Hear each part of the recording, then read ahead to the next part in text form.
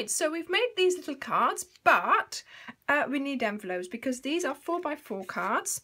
I've um, cut them out of an A4 sheet of paper, so it's 8 by 4, scored at 4. And you are left with quite a chunk of, of your paper. And for an envelope, for a 4 by 4 card, you need a piece of paper that is 6 and 7 eighths by 6 and 7 eighths and actually you have got that left in your A4 size piece of card. Oh my word, the words are coming out so well tonight, this evening. so you can actually make a card, a 4x4 card and the envelope from one sheet of A4 cardstock and I think that's brilliant to do. You also have a tiny bit left so this is the amount you have left and I'm sure you can think of something to do. You see, you could have, I could have done that, uh, you know, decorated it like that, did the thank you on top of there. Other things are possible. I will, uh, I will investigate more into this because I am liking this, um, the fact that I can do this. So this is the decorated envelope I made for that pink one. And that's Blushing Bride, this is Rose Red, and this is Perfect Plum. So let's make the Perfect Plum envelope. So you've got your uh, envelope punch board.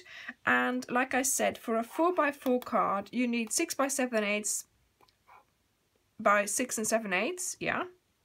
And you start at 3.5. So it says score line at 3.5. So you put it in 3.5 and you punch. So three and a half there you put the edge there. Then you take the scoring blade which is comes with it which I always put in my pot. I don't know why. And you do your scoring on this side. Okay. Then you turn and this little pointy here the score guide needs to meet up with your score line don't worry about this now the only time you have to worry about this is when you start okay from then on you just line up your score guide with your score that you've made. And then again, it goes into the score line. Sometimes it might meet up again at the three and a half, but it doesn't always. So don't worry about that. Like I said, just score guide. And you do that four times.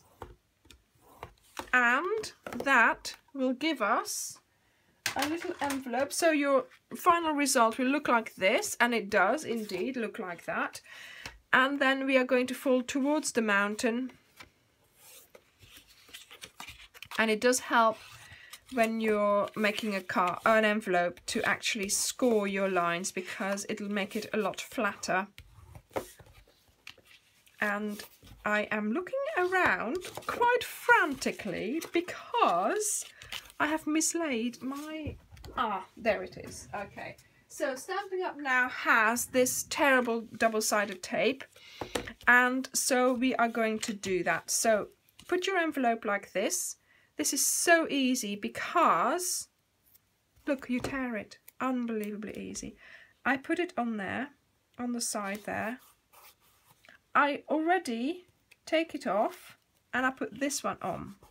So that is stuck down to that. Oh, look at my fingers. I've been using Cajun Craze. It's crazy.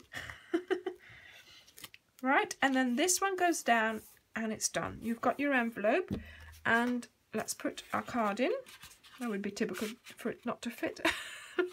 and you can then, but what you need to do, of course, is you put some tape on here, but do not take the backing off because obviously otherwise you're going to close up your card and, well, I haven't written mine yet, so that would be a shame, wouldn't it? right, so there we go. And I am just quickly, this is now the elegant eggplant that I need to use. So quickly I'm going to decorate my envelope, just making sure my stamp was clean. couldn't remember that I did clean it. And I just put it right there. And then I put one on the corner there. There we go. So then I've got that envelope done. So now I'm just going to continue doing a bit, oh, doing a bit more crafting. Did you see that? It landed in my Blushing Bride ink pad. Luckily, Blushing Bride is quite pale. so I've got a rose red envelope to make, so I'm going to do that now. So I hope you enjoy uh, crafting and uh, choose happiness. See you next time. Bye.